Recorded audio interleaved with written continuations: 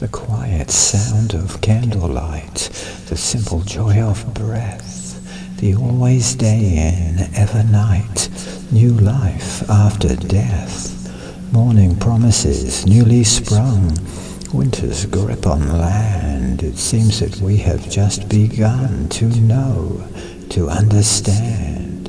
The wind that whistles from the north, the gentle southern breeze, buds of flowers coming forth, the majesty of trees, stars which sparkle in the sky, so very far away, dreams of love in times we lie,